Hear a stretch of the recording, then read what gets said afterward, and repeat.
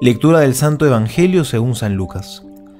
En aquel tiempo estaba Jesús a la orilla del lago de Genezaret, y la gente se agolpaba sobre él para oír la palabra de Dios, cuando vio dos barcas que estaban a la orilla del lago. Los pescadores habían bajado de ellas y lavaban las redes. Subiendo a una de las barcas, que era la de Simón, le rogó que se alejara un poco de tierra, y sentándose, enseñaba desde la barca a la muchedumbre. Cuando acabó de hablar, dijo a Simón, Boga mar adentro, y echad vuestras redes para pescar. Simón le respondió, Maestro, hemos estado bregando toda la noche y no hemos pescado nada, pero en tu palabra echaré las redes. Y haciéndolo así pescaron gran cantidad de peces, de modo que las redes amenazaban romperse. Hicieron señas a los compañeros de la otra barca para que vinieran en su ayuda. Vinieron pues y llenaron tanto las dos barcas que casi se hundían. Al verlo Simón Pedro cayó a las rodillas de Jesús diciendo, Aléjate de mí, Señor, que soy un hombre pecador.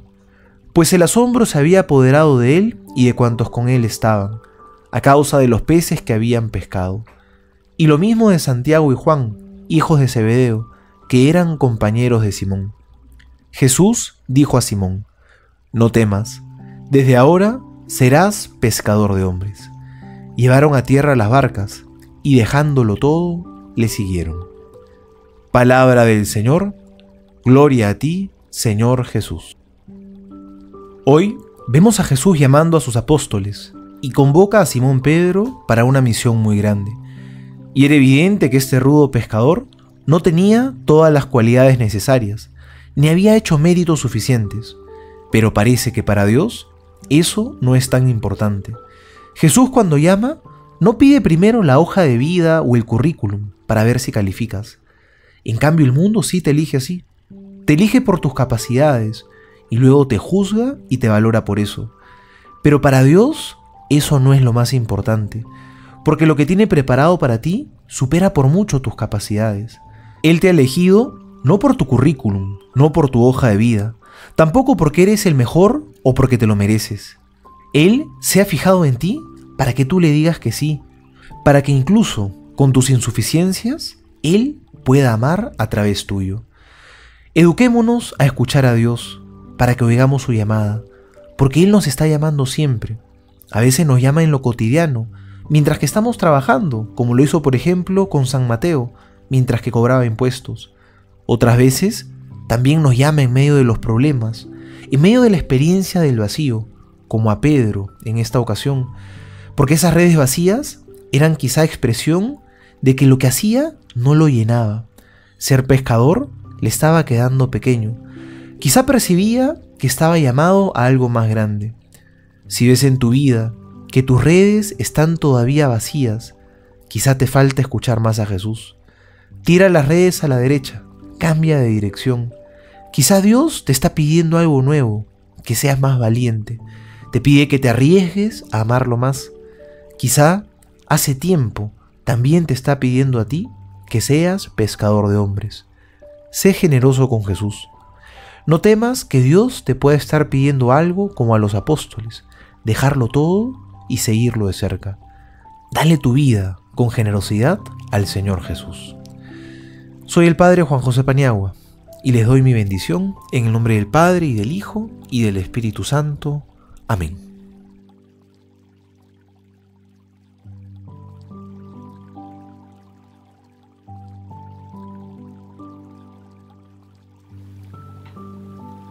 Mes de la Biblia. ¿Sabes cuáles son los libros que cuentan el nacimiento de Jesús? Los Evangelios de San Mateo y San Marcos. Comentarios desde la tradición de la Iglesia. San Antonio de Padua, presbítero y doctor de la Iglesia. Sermón. Fiarse de Cristo. Por tu palabra echaré las redes es contando con la gracia celestial y la inspiración sobrenatural que hay que echar las redes de la predicación. Si no es así, es en vano que el predicador echa las líneas que marcan sus palabras. La fe de los pueblos no se obtiene a través de sermones muy bien compuestos, sino por la gracia de la llamada divina. Oh fructuosa humildad. Cuando los que en un momento determinado no habían recogido nada, se fían de la palabra de Cristo y recogen una multitud de peces. Por tu palabra echaré las redes. Cada vez que le he echado por mi cuenta, he querido conservar para mí lo que te pertenece. Soy yo quien ha predicado y no tú. Mis palabras y no las tuyas. Por eso no he recogido nada. O bien si he recogido alguna cosa, no es pescado sino ranas, que solo sirven como charlatanas de mis alabanzas. Por tu palabra echaré las redes. Extender las redes sobre la palabra de Jesucristo es no atribuirse nada a sí mismo, sino atribuírselo todo a Él. Es vivir conforme a lo que cada uno predica. Es entonces que se cogen gran cantidad de peces. Benedicto XVI, Papa. Catequesis Audiencia General del 22 del 3 del 2006. Dice así. La aventura de los apóstoles comienza así, como un encuentro de personas que se abren recíprocamente. Para los discípulos comienza un conocimiento directo del Maestro. Ven dónde vive y empiezan a conocerlo. En efecto, no deberán ser anunciadores de una idea, sino testigos de una persona. Antes de ser enviados a evangelizar, deberán estar con Jesús, entablando con Él una relación personal. Sobre esta base, la evangelización no será más que un anuncio de lo que se ha experimentado y una invitación a entrar en el misterio de la comunión con Cristo. Meditemos el Evangelio con el libro de cielo. Dejándolo todo, lo siguieron. Lucas pone al principio del misterio de Jesús y lo transforma en un relato de vocación de Pedro, Santiago y Juan. Los personajes que entran en escena son Jesús, la gente de la orilla, y las dos barcas con sus respectivos pescadores que son compañeros. De entre ellos destacan tres, Simón en una barca y en la otra Santiago y Juan. La gente se agolpaba en torno a Jesús para oír la palabra de Dios. Volumen 4, 19 de febrero de 1902. Hija mía, en el misterio público es necesario el uso de la voz para hacerme entender. Pero en el ministerio privado de mi sola presencia basta para todo. Porque verme y entender la armonía de mis virtudes, para copiarlas en sí misma, es lo mismo por lo tanto, la atención del alma debe estar en verme y en uniformarse en todo a las operaciones interiores del verbo. Porque cuando yo atraigo al alma a mí, se puede decir, al menos por ese tiempo, que la tengo en mi presencia, que hace vida divina. Siendo mi luz como pincel para pintar, mis virtudes suministran los diferentes colores y el alma es como tela que recibe en sí el retrato de la imagen divina. Sucede como aquellos puentes altos que por cuanto más altos, tanto más precipitan a lo bajo una lluvia abundante. Así el alma, ante mi presencia se pone en el estado que le conviene, o sea, en lo bajo, en la nada, tanto que se siente destruir, y la divinidad a torrentes hace llover la gracia sobre ella y llega a sumergirla en sí misma. Por eso debes estar contenta de todo, si hablo, y contenta si no hablo. Volumen 22, 12 de junio 1927. Pero, ¿sabes tú quién es capaz de oír su voz? De entender su hablar celeste y leer los caracteres divinos que cada cosa creada tiene impresos? Quien posee mi voluntad tiene el oído para escuchar su voz, inteligencia para comprenderla, ojos para leer los caracteres divinos que con tanto amor imprimió su Creador en cada cosa creada. En cambio, quien no hace reinar mi voluntad, se encuentra en las condiciones de quien es sordo y no escucha, de quien es cretino y no comprende de quien no ha estudiado las diferentes lenguas y por cuanto se diga, no entiende nada. Enseñaba a la multitud. Volumen 30, 6 de febrero de 1932.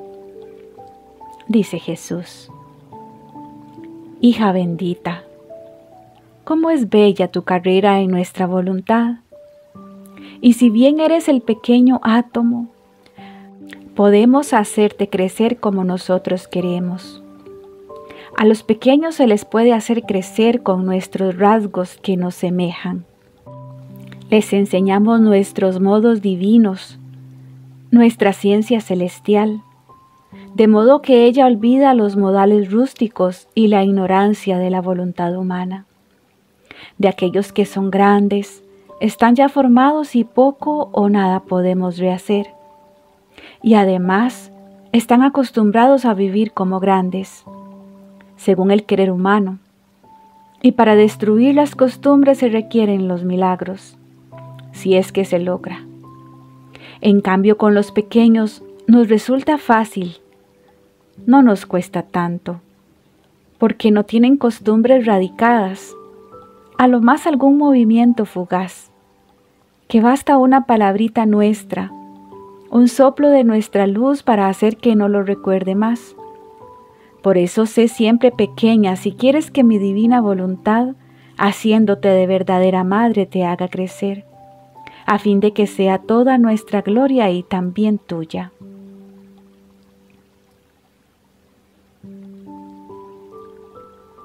Volumen 12, 4 de junio de 1919 las enseñanzas de tu Jesús jamás servirán para condenarte. Y aunque hicieras una sola vez lo que te he enseñado, en el cielo de tu alma es siempre una estrella que pones, porque así como he extendido un cielo sobre la naturaleza humana y mi fías lo adornó de estrellas, así también he extendido un cielo en el fondo del alma, y el fías del bien que hace, porque todo bien es fruto de mi querer viene y embellece con estrellas este cielo. Así que si haces diez bienes, pone diez estrellas. Si mil bienes, mil estrellas.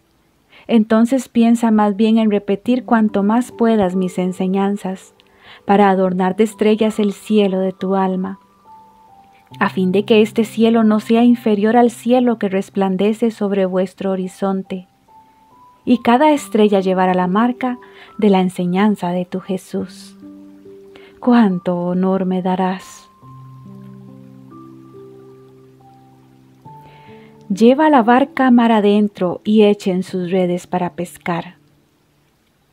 Volumen 13, 28 de noviembre de 1921. La barca que ves con tanta gracia navegar este mar es el alma que vive en mi querer. Con su continuo vivir en mi querer ha respirado el aire de mi voluntad, y mi voluntad la ha vaciado de la madera, de las velas, del ancla, del mastil, y la ha convertido toda en luz. Así que el alma, conforme va haciendo sus actos en mi querer, se vacía de sí y se llena de luz. El capitán de esta barca soy yo. Yo la guío de acuerdo a su velocidad. Yo la sumerjo para darle reposo y tener tiempo para confiarle los secretos de mi querer. Ninguno podría ser hábil en guiarla, porque no conociendo el mar no puede conocer el modo como guiarla, ni yo me fiaría de ninguno.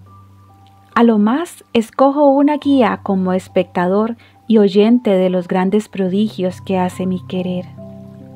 ¿Quién puede ser hábil y capaz para guiar la carrera en mi querer? En cambio yo, en un solo instante la hago hacer la carrera que otro guía le haría hacer en un siglo.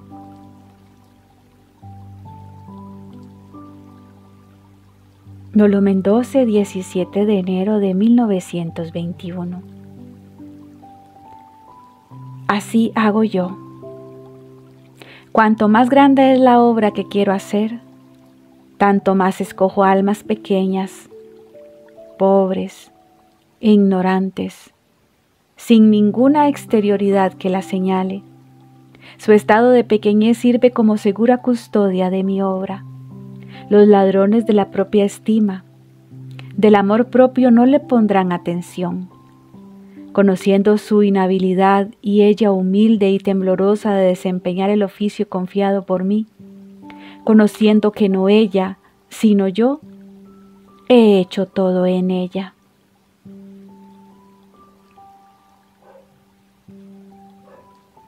Confiado en tu palabra, echaré las redes. Volumen 19, 18 de mayo de 1926. Ahora tú debes saber que cuando hacemos nuestras obras, la criatura que es elegida y a la cual es confiada la obra, debemos darle tanto amor, luz, gracia, que pueda darnos toda la correspondencia y la gloria de la obra a ella confiada. Nuestra potencia y sabiduría no se pondrían desde el principio de una obra nuestra en el banco de la criatura, como en acto de fallar. Así que en la criatura que es llamada como acto primero, nuestra obra debe quedar al seguro en ella, y nosotros debemos rescatar todo el interés y gloria equivalente a nuestra obra confiada a ella y aunque después nuestra obra fuese comunicada a las demás criaturas y por su ingratitud estuviese en peligro de fallar, para nosotros es más tolerable, porque a quien fue confiada, al principio nos hizo rescatar todo el interés de los fallos de las otras criaturas. He aquí por qué todo dimos y todo recibimos de ella, a fin de que todo el capital de la redención pudiese quedar íntegro y por su medio nuestra gloria completada y nuestro amor correspondido. ¿Qué hombre sabio pone desde un principio su capital en un banco que está por quebrar? Primero se asegura y después confía su capital, pero puede ser que con el tiempo quiebre. Esto no puede hacerle gran daño, porque por los tantos intereses recibidos se ha rehecho su capital. Y cogieron tal cantidad de peces que las redes se rompían. Volumen 24, 30 de agosto de 1928. Este mi lenguaje dice que a aquellos a los cuales yo hablaba no me conocían no me amaban, mucho menos hacían mi voluntad. Más bien estaban lejanos de mí y que yo con mis parábolas hacía las búsquedas y extendía la red para pescarlos y dar a cada uno el remedio para curarlos. Pero cuántos me huían, y yo aumentaba las búsquedas y las enseñanzas para dar luz a tantos ciegos, a fin de que salieran de su obstinada ceguera. Apártate de mí, Señor, porque soy un pecador. Volumen 13, 22 de noviembre de 1921.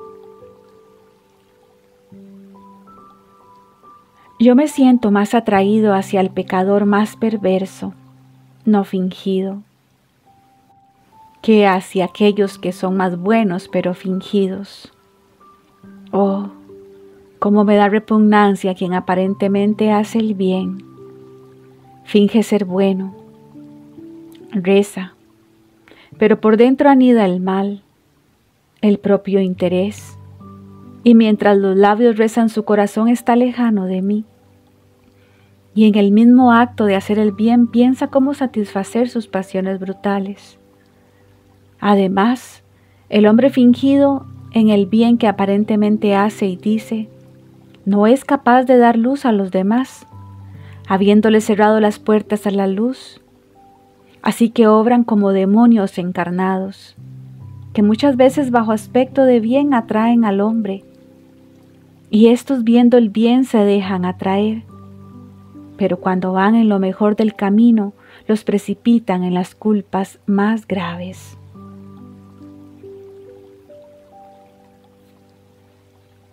Serás pescador de hombres. Antes de ser apóstol, pescador. Después de apóstol, pescador la misma profesión de antes. Después, ¿qué cambia entonces? Cambia que en el alma, porque en ella ha entrado Cristo, como subió a la barca de Pedro, se presentan horizontes más amplios, más ambiciosos de servicio y un deseo irreprimible de anunciar a todas las criaturas las cosas maravillosas que hace el Señor si lo dejamos hacer. San José María escriba.